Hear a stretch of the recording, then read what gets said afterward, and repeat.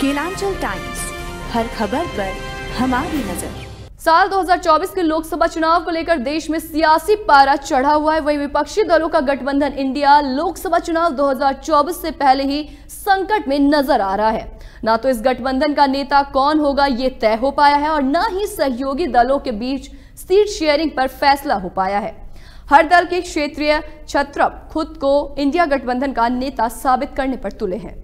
तो वही इंडिया गठबंधन पहले ही दिन से कई चुनौतियों से जूझ रहा है, जैसे इसके घटक दल कई राज्यों में एक दूसरे के सबसे बड़े प्रतिद्वंदी हैं और वे एक दूसरे के विरुद्ध चुनाव भी लड़ते रहे हैं और इसके साथ ही विभिन्न मुद्दों और विषयों पर उनकी स्टैंड भी अलग है।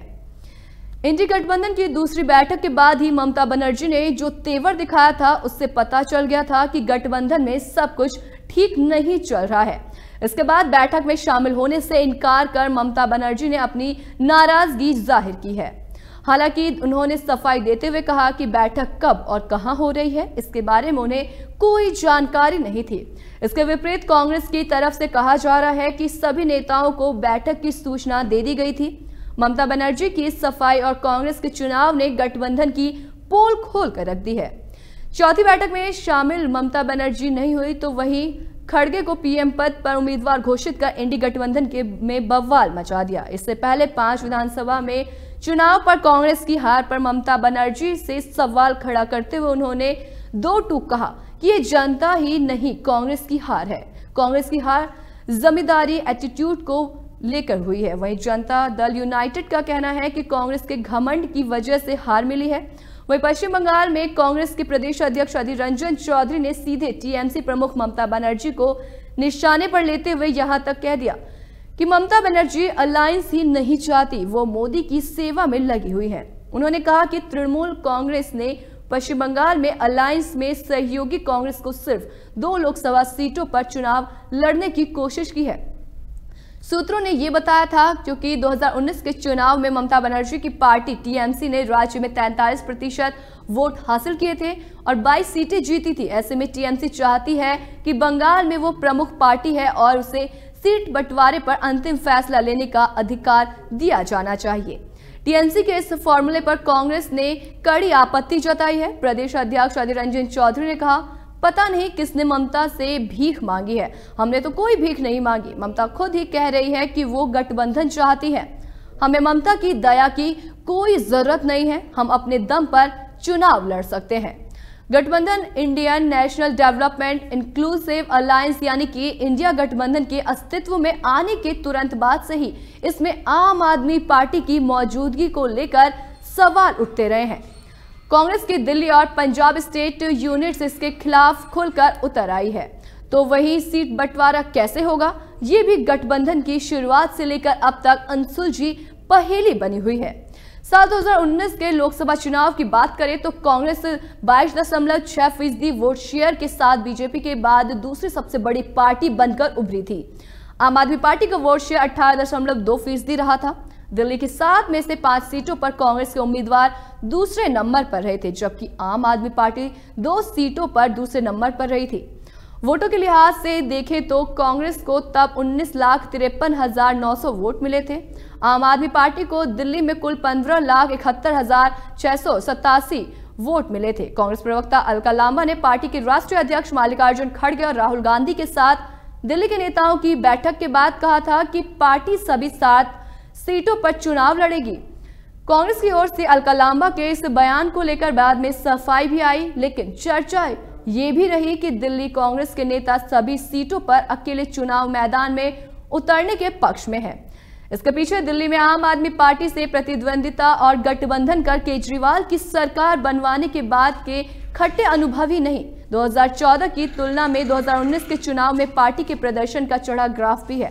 कांग्रेस ये भी जानती है कि लोकसभा चुनाव के आंकड़ों में भारी रहने की बावजूद अगर केंद्र शासित प्रदेश की सत्ता पर काबिज होने के आधार पर आम आदमी पार्टी को दिल्ली में अधिक सीटें देने के लिए तैयार हो जाती है तो पंजाब में भी मुश्किल होगी।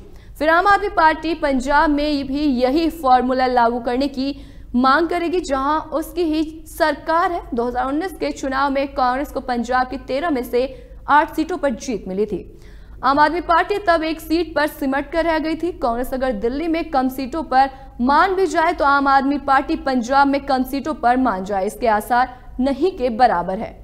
इंडिया गठबंधन की ओर से सीट शेयरिंग फॉर्मूले को लेकर अभी आधिकारिक रूप से कुछ भी नहीं कहा गया है। ऐसे में देखना होगा कि दिल्ली का पेज किस फॉर्मूले से सुलझता है। अगर पवार की बात के मुताबिक आम आदमी पार्टी कांग्रेस को तीन ही सीट देती है तो क्या देश की सबसे पुरानी पार्टी सबसे नई पार्टी के इस फॉर्मूले को मान लेगी। तो वही इंडी गठबंधन की बैठक में जैसे ही ममता बनर्जी ने मल्लिकार्जुन खड़गे का नाम प्रधानमंत्री उम्मीदवार के लिए आगे क्या तो वही चौथी बैठक से लालू प्रसाद और नीतीश कुमार नाराज़ हो गए। वे प्रेस कॉन्फ्रेंस में भी शामिल नहीं हुए हैं। राजनीतिक पंडितों के अनुसार इंडिया गठबंधन की चौथी बैठक के बाद जेडीयू ने अपनी चुनावी तैयारी की अलग से पूरी योजना बना ली है। जेडीयू ने अरुणाचल प्रदेश में चुनाव लड़ने का ऐलान करते हुए प्रत्याशी घोषित कर दिया है। जेडीयू के इस कदम को नीतीश की गठबंधन से नाराज़गी के तौर पर देखा जा रहा है। जेडीयू ने हाल ही के दिनों में कुछ ऐसे कदम उठाए जिसमें लग रहा है कि जेडीयू इंडी गठबंधन से कटा कटा है। जेडीयू की ओर से मुंगेर लोकसभा सीट से ललन सिंह और दरभंगा से संजय झा चुनाव लड़ेंगे। देवेश चंद्र ठाकुर को सीतामढ़ी से चुनाव लड़ेंगे।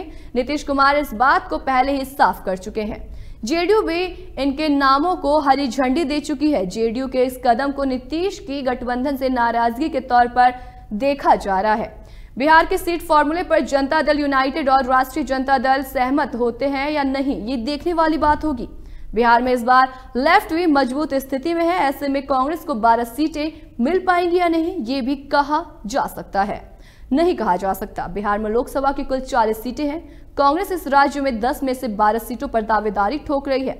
40 लोकसभा क्षेत्रों वाले बिहार में कांग्रेस कम से कम 12 सीटें चाहती है। कटिहार, किशनगंज, पूर्णिया, कटिहार, औरंगाबाद, भागलपुर, बक्सर, सासाराम, मोतिहारी, वाल्मीकि नगर, नवादा और पटना सीटों पर कांग्रेस लड़ना चाह रही है। उत्तर प्रदेश में कांग्रेस 80 सीटों में से 40 लोकसभा सीटों पर दावेदारी ठोक रही है। कांग्रेस यहाँ सीटों से समझौता नहीं करना चाहती है।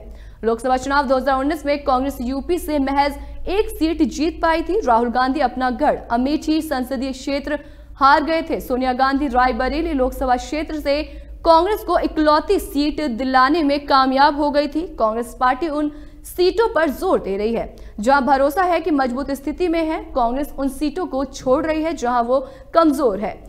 यूपी की 40 सीटें कौन सी होंगी? इसे लेकर मंथन जारी है। कांग्रेस का तर्क है कि लोकसभा चुनाव 2019 में कांग्रेस पार्टी की वोट शेयरिंग बढ़ी है। समाजवादी पार्टी ने बहुजन समाज पार्टी को पर्याप्त सीटें दी थी। ऐसे में कांग्रेस भी राज्य सीटों के लिए अपनी दावेदारी ठोक रही है।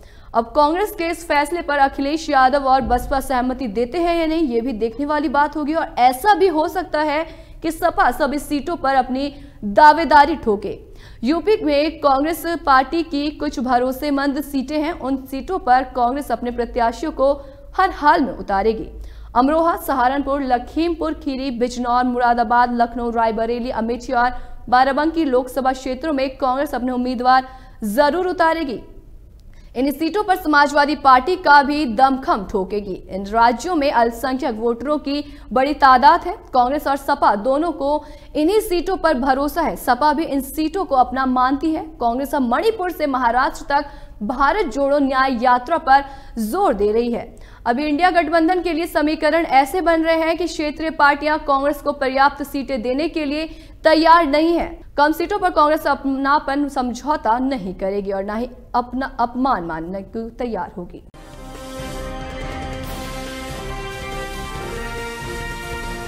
केलांचल टाइम्स, हर खबर पर हमारी नज़र।